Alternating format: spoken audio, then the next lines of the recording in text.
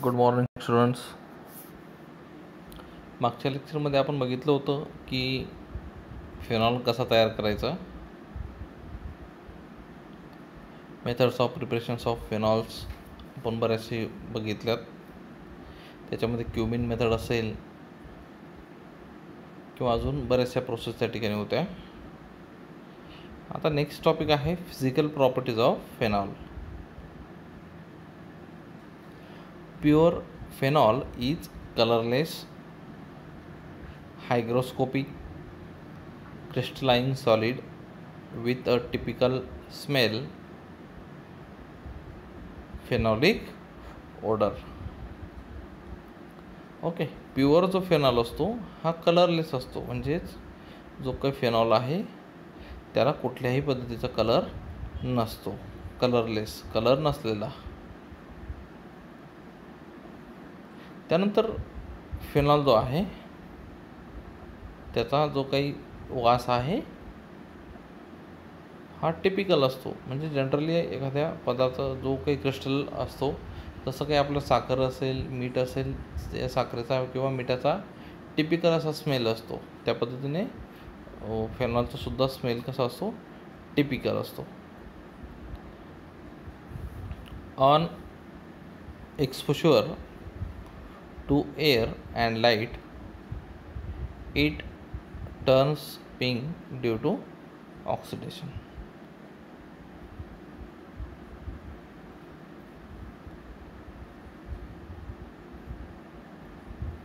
okay आणि त्या ठिकाणी काय की ऑक्सिडेशन प्रोसेस करून तोवर जे काही लाईट वगैरे असतं त्याच्या टाईप जो आहे तो चेंज करत असतो तर त्या ठिकाणी तो कसा टर्न करतो पिंकमध्ये त्या ठिकाणी टर्न करतो phenol have a low melting point but a higher boiling point due to intermolecular hydrogen bonding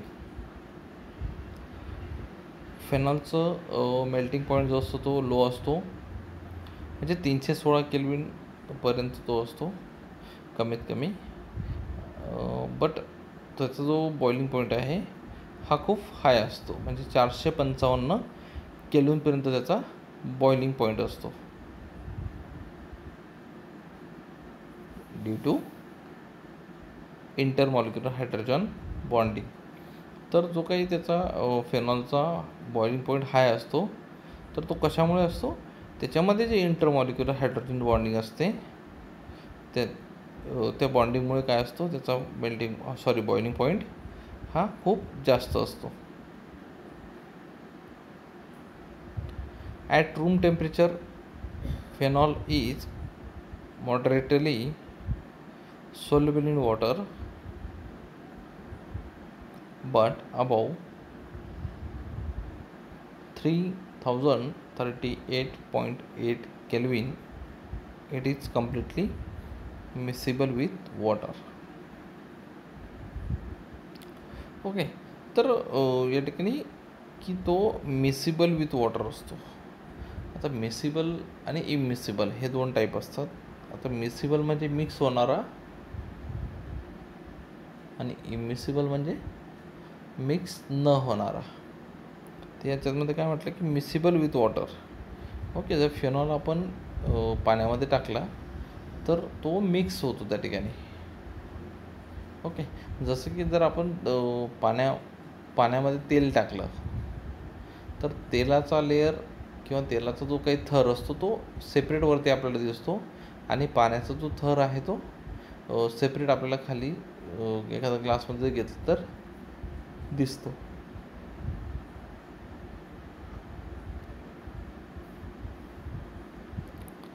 it is readily soluble in ethyl alcohol and ether it is readily soluble in ethyl alcohol and ether त्यानंतर generally तो soluble होतो ethyl अल्कोहोलमध्ये किंवा इथरमध्ये okay जसं की पाण्यामध्ये सुद्धा तो मिसिबल आहेच परंतु तो त्या केल्विनला गेल्यानंतरच मिसिबल होतो तसं की डायरेक्ट इथिल अल्कोहोल किंवा इथर जर घेतला तर त्याच्यामध्ये तो काय होतो डायरेक्टली सोल्युबल होतो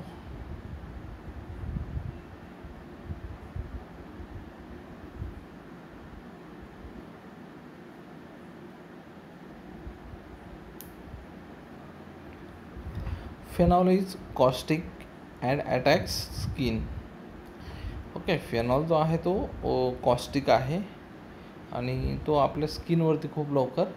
अटॅक करू शकतो म्हणजे तर आपल्या स्किनवर वगैरे त्याचं काही ड्रॉप्स पडले वगैरे तर त्याच्यामुळे आपले स्किन काय होऊ शकते डेड होऊ शकते किंवा काही आपल्याला इजा होऊ शकतो त्या ठिकाणी हे होते आपले फिजिकल प्रॉपर्टीज ऑफ फेनॉल्स तर नेक्स्ट टॉपिक बघायचं आहे आपल्याला रिॲक्शन्स ऑफ फेनॉल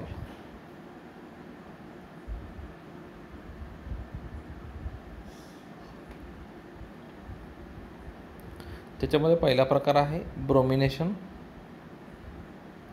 म्हणजे त्याला आपण म्हणू शकतो halogenation okay halogenation of phenol जरी म्हटलं तरी चालेल मग हॅलोजिनेशन जर म्हटलं तर हॅलोजिनेशन म्हणजे काय हॅलोजनची ॲडिशन मग आता त्याच्यात ब्रोमिन असेल क्लोरीन असेल किंवा आयोडीन असेल तर त्याच्यामध्ये आपला पहिला टाईप आहे ब्रोमिनेशन जे ब्रोमिनचे ॲडिशन करत असणार तर आपण लिहिणार त्या ठिकाणी bromination replacement of one or more hydrogen atoms from aromatic ring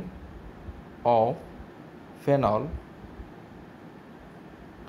by one or more bromine atoms is called bromination of phenol is called bromination of phenol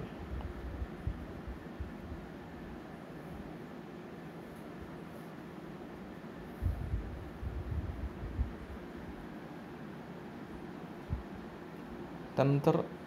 bromine water या ठिकाणी आपण घेतला आहे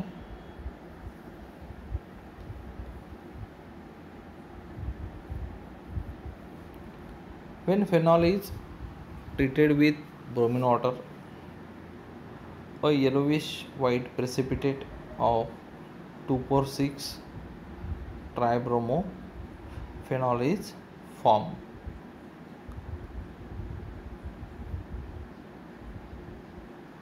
जेव्हा फेनॉल ब्रोमिन बरोबर treat केलं जाईल तेव्हा आपल्याला एक पिवळ्या कलरचा प्रेसिपिटेट त्या ठिकाणी म्हणजे प्रॉडक्ट मिळणार आहे आणि त्या प्रॉडक्टचं नाव आहे two four six tribromo phenol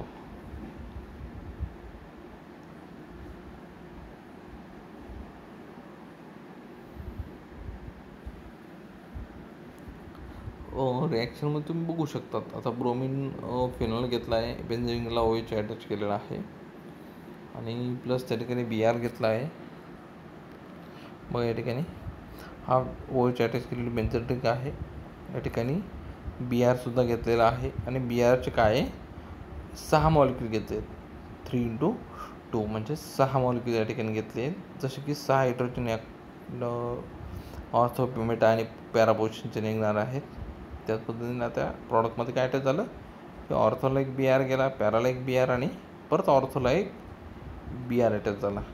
आणि इथे तिघं जे या ठिकाणी ॲड झाले तिथले हायड्रोजनसुद्धा रिमूव्ह झाले म्हणजेच थ्री एच आणि बी आर किती उरले तीन म्हणजे हा जो तीन आहे हा कॉमन आहे हायड्रोजनचा आणि ब्रोमिनचा म्हणून त्याचं नाव आलं two four six tribromo phenol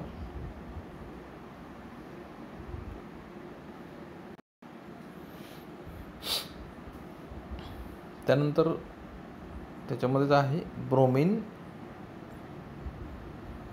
in carbon disulphide in to bracket CS2.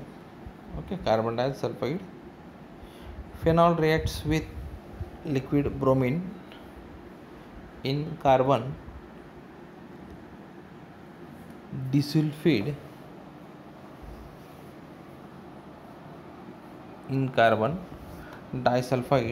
at 273 Kelvin to give a mixture of orthobromophenol and parabromophenol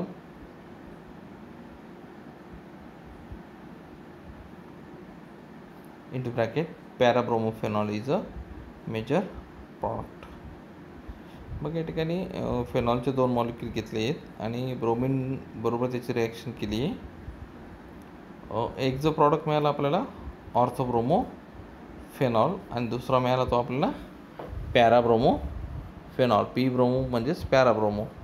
O bromo म्हणजेच ऑर्थो ब्रोमो आणि त्याचा आय पी एस सी नेमसुद्धा दिलेला आहे टू ब्रोमो फेनॉल किंवा four bromo phenol आणि त्याच्यामध्ये जो काही पॅराब्रोमो असेल किंवा फोर ब्रोमो असेल हा जो प्रॉडक्ट असेल हा काय असणार आहे त्या ठिकाणी मेजर प्रॉडक्ट असणार आहे ओके तर आज आपण सुरुवात केली रिॲक्शन्स ऑफ फेनॉल बाकीचं जे पुढचा टॉपिक आहे तो आपण नेक्स्ट लेक्चरमध्ये बघू